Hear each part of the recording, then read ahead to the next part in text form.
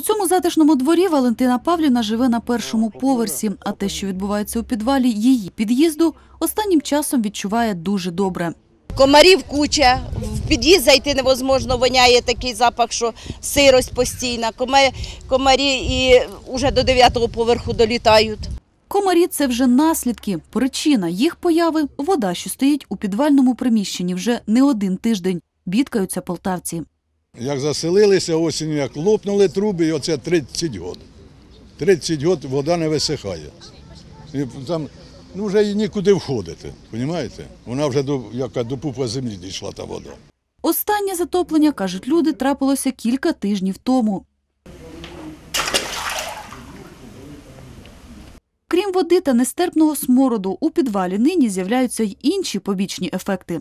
У цьому полтавському подвалі вирує своє власне життя, але мешканці будинку говорять, що воно скоріше нагадує фільм жахів, тому що тут є своя фауна і є своя флора. Мешканці будинку говорять, звернення до ЖЕДу не дають результатів. Сантехнік знає про таку біду. Втім, доки не прочистять каналізаційні колодязі, він до роботи не береться. Людям залишається кликати на допомогу. Спасайте нас, ми вже задихаємося, і комарі нас скоро всю кров вип'ють.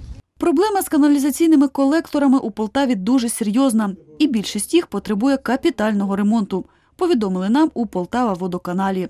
Затоплення за даною адресою поставили в планові роботи. По Великотирнівській 30 стався перелом труби дворової каналізації, розповіли фахівці. На відміну від звичного засмічення, таке пошкодження потребує великого обсягу робіт та спеціальної підготовки до них. Втім, уже 20 червня працівники Полтава водоканалу повідомили, що у цьому дворі почали проводити розкопки.